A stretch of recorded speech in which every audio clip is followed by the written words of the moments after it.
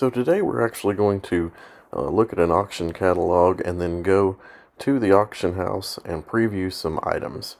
Uh, this particular auction is Asian interest items and I'm actually very interested in the picture that's right on the screen now.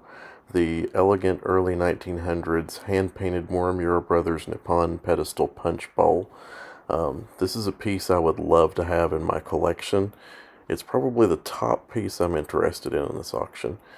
Um, I was looking for some Christmas gifts um, in this auction as well.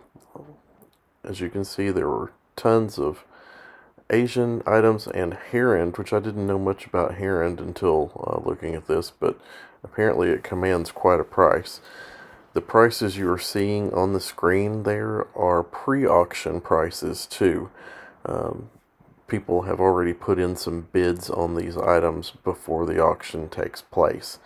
Um, this is not the price that they actually realized. As we move on down the second page here, um, we're going to keep looking for some of those Nippon items over on the third page. Um, one of the neat things about looking through the catalog, you can see uh, all the different things and, and, write down the lot numbers that you might be interested in before you go to the preview. Um, right in the middle of this page, lot 199 was another Nippon uh, pedestal bowl that I thought about uh, looking at when I went to the preview. So I wrote lot 199 down on my list. Also, lots 204 and 207 coming up. Uh, both are Nippon pedestal compote uh, bowls as well. Uh, the pedestal compote bowls are kind of unusual to find, and especially this many in one collection. So it was it kind of piqued my interest uh, and made me want to go over and take a look at the preview uh, at the auction house. Moving on down, let's see what else we can find. There's one last one, lot 212 there. Today we're going to take in an auction preview. This is one that I go to quite frequently. We're going to look at some items that I have chosen uh, to watch in the next auction and hopefully some of those that I'll be able to win. So we're going to see how this goes. I'm going to take you along with the journey today and we're going to go look at a couple of pieces that I'm interested in today.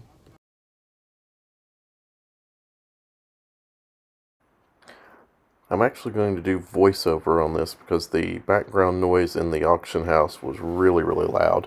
I do apologize too, I didn't have my phone in landscape mode whenever I was videoing, and it made it a little difficult to see, as well as the glare that was coming in from the uh, sunshine from the front windows, the lights, and then the cases all had mirrors behind as well. But the neat thing about going to preview is that you get to actually uh, look at the pieces, you get to handle the pieces, inspect them to see if they're exactly what you want. And that's what I was looking at here. There's one of the Nippon pedestal bowls that I had written down. Um, I didn't actually show this in the video, but I did take several of these out of the cases and look at them um, to see the quality and condition. And uh, usually the auction is really good about calling uh, all the damage um, that they can find, but inevitably they do miss things uh, from time to time and this was a huge uh, Asian antique auction. Um, the items were brought down from Louisville, Kentucky, and were actually sold in Lexington. This tea set that's on the screen right now, um, I didn't even notice um, on the preview uh, when I was looking at the catalog. There's the punch bowl that I really, really want. Um, but that's another interesting fact about going to uh, the preview. Sometimes you see things that just don't even catch your eye in a catalog. And actually being there and looking at the items, it makes a huge difference over just what you see um, on the internet when you're looking at those online catalogs. Um, these Herend pieces and statuary were splendid in this auction, and there was some beautiful jewelry as well. Um, the, some men's ruby uh, and diamond rings that were um, outstanding. So moving back down the cases, uh, you can see some of these very large Satsuma pieces. Um, just some very beautiful things. But the punch bowl, the barnwood background and grapes, that's my piece right there that I want to take home. So let's see how well I did. So just by going in and looking around, I've noticed a few things on my list. I had uh, six items there that I had picked out uh, for this auction. Out of those six, um, two I was looking at for a gift, and uh, of those two, I noticed that one was probably a little better quality than the other one. Um, of the Nippon Punch Bowls, um, three of the four that I looked at in there were in good condition, and I've got them on my want list.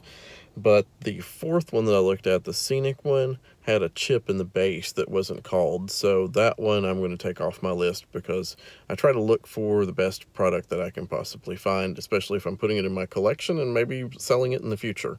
So those are reasons that you come and you take a look at things. Also, you sometimes see things at uh, auction previews that don't catch your eye in the um, uh, catalog itself when you're looking online.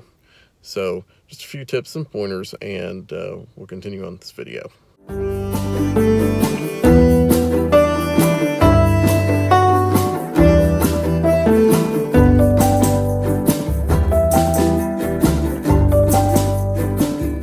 So I did win the large uh, grape punch bowl in Nippon uh, during that auction.